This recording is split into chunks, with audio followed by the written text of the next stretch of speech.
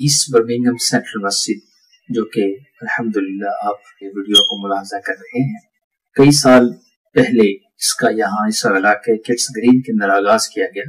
इस पूरे इलाके में इस मस्जिद के अलावा कोई और मस्जिद नहीं है।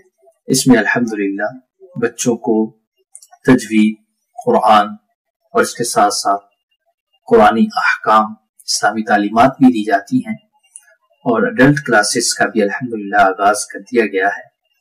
और इसके अलावा यहाँ पाँच वक्त की नमाज़ बाजमात जुमा और दीगर एक्टिविटीज़ यहाँ पर होती हैं। अल्हम्दुलिल्लाह अल्लाह के करम से इस मस्जिद के करीब मुसलमानों की अच्छी खासी आबादी है। जो इस मस्जिद को आबाद करते हैं, यहाँ पर आते हैं, नमाजें पढ़ते हैं, जो एक्टिविटीज़ हो रही हैं, इस हवाले से ब्रीफ सा इंट्रोडक्शन है।